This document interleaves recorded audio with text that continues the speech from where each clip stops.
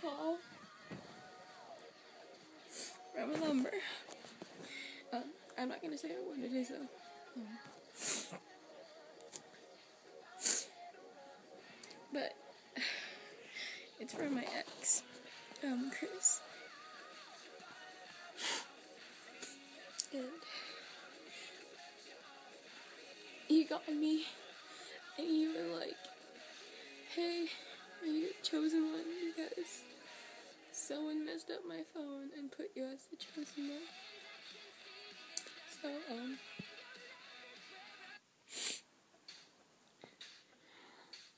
So like, I asked him if it was supposed to be a Star Wars reference, and he said, "Sure." So he started calling me Luke Skywalker, and Um, six months ago, December seventeenth, he broke my heart, and it was.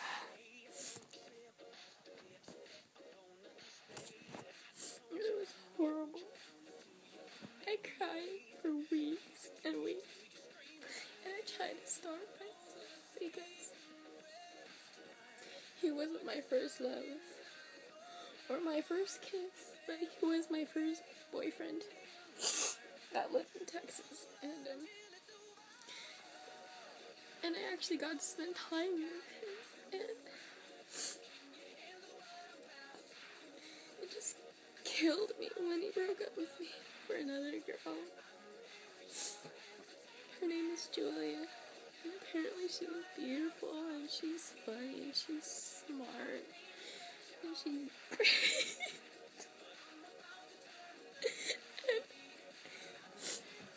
was like, so, oh, can I tell you a secret? And I'm like, sure. And then he started talking about me. He's all like, I had this girlfriend near Christmas. Actually, it was near Thanksgiving. We went out for a month. Well, almost a month. Maybe like three weeks. But it was amazing. But, um,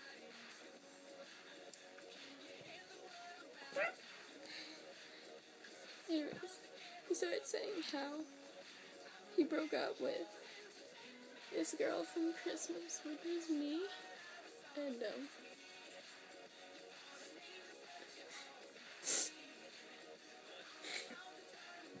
and he said, "Don't get me wrong, I really liked her, but I never really loved her."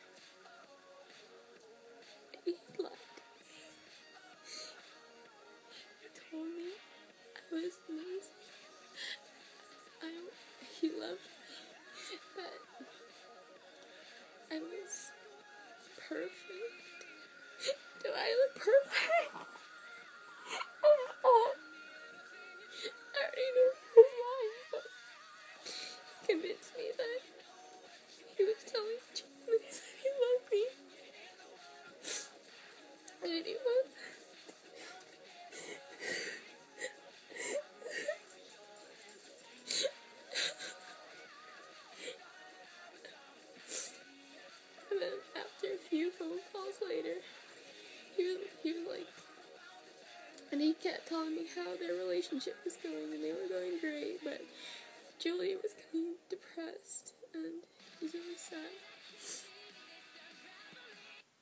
And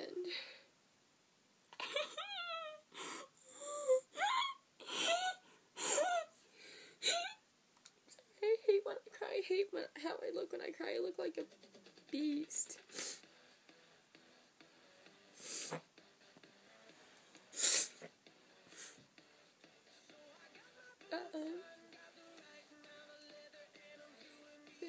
Asked me how I was going and that if I loved anyone. And I said yes. And he said, well, who? And I'm like, I passed one of my exes. And he's like, oh. I'm like, yeah. And he's like, so you love someone other than your sister? no, he said, have you ever lost someone special to you? And I said, yes. And he said, who? Except for your dad and your planet and your sister? And I said, the one I fell in love with from the start. And he said, who? And I said, I can't tell you. He's like, well, I probably won't know them. I'm like, yeah, you know them. He's like, oh, okay. So he's trying to guess where I live. He kept saying Sonora and El Dorado a lot of times. I think he already knew it was me, but and like, he would say different states and different towns, not even close to here. And um, after a few phone calls, left because I kept hanging up on him.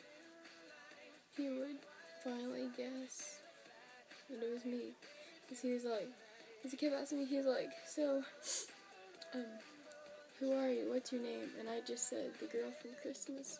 And he called back and he's like, the girl from Christmas.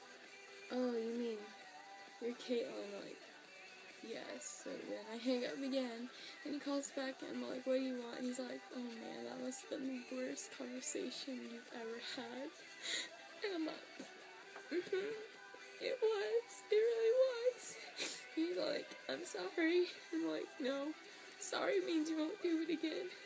And he's like, I promise I won't. I'm like, that's not my decision. That's not your decision to make. And then, last call,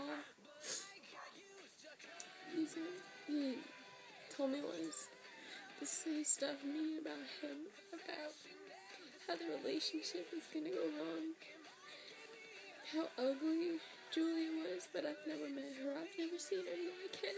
That she might be really pretty, and I wouldn't even know because I would be a horrible person hurting her for something she didn't know. I'm a cruel person, but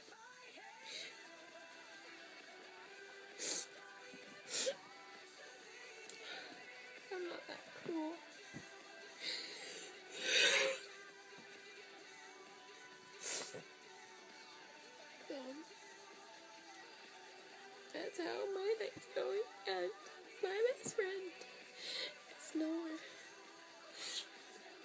I haven't seen him, I haven't to him for a long time, and all this is happening, and he really speaks to me.